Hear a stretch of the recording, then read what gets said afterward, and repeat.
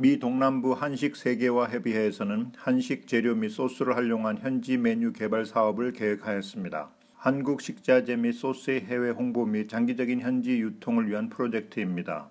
미주 유명 셰프와 요리 파워 블로거들을 대상으로 한식 식자재 및 소스를 제공하여 새로운 메뉴를 개발하고 한식 메뉴를 더욱 다양하게 알릴 수 있도록 합니다. 미 전국의 50여 개 캠퍼스를 운영 중인 AIA 요리학교와 공동 주최를 통해 우선 한식 메뉴 활용을 극대화할 예정입니다.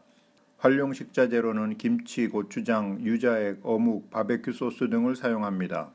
참가자는 미국 요리학교 교수들, 미국 요리사협회 회원들, 미국 요리 파워 블로거 등 약 30여 명입니다. 미 동남부 한식협의회 회원, 미국 요리협회 회원, AIA 요리학교 등은 물론 주요 언론사들이 참관할 예정입니다.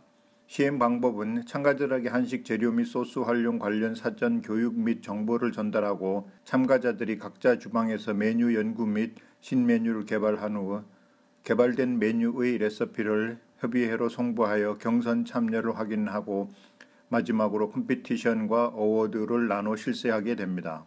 아울러 AJC, Fox, 조지아 Asian 타임스 등 언론사들의 협조를 받아 많은 사람들에게 한식과 한식 메뉴를 알리는 데 기여할 것입니다.